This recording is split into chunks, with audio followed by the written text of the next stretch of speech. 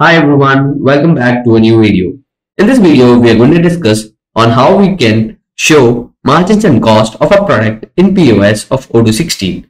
For that, let me go to the POS module here and in the dashboard, you can see all the sessions and its details.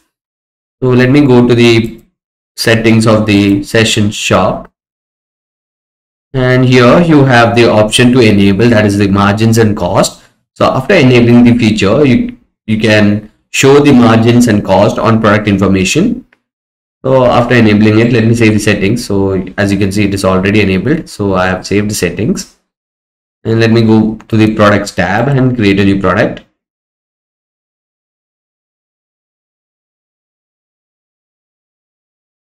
And let me star this product as favorite. If you want you can add this to the favorite list. And here you have the sales price for this product you can add the sales price. So let me add the sales price for this product as 100 and the cost price as 80 and after that let me save this product.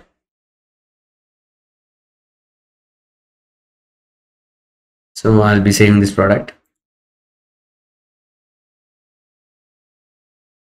So after saving this product uh, now we can go to the dashboard and you can open a new session.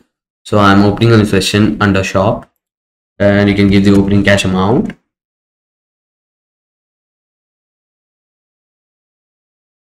So after adding the cash amount you can search for the product which you have created. And you can add this to the order line. You have the option to see the product info. So here you can see the margin is 20 and the margin percentage is 20 percentage. As you can see the sales price of this product is 100 and the cost is 80 so margin is calculated as sales price minus the cost price that is 20 so this is how you show the margin of a product in POS and let me close this. And let me go to the payment session. Uh, here you have different payment methods. You can choose one of the payment method and you can validate this.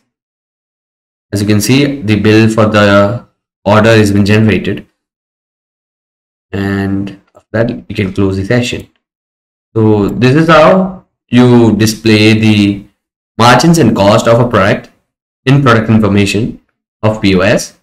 So margin is always calculated as the sales price of the product minus the cost price of the product. So that's all for today. Thank you.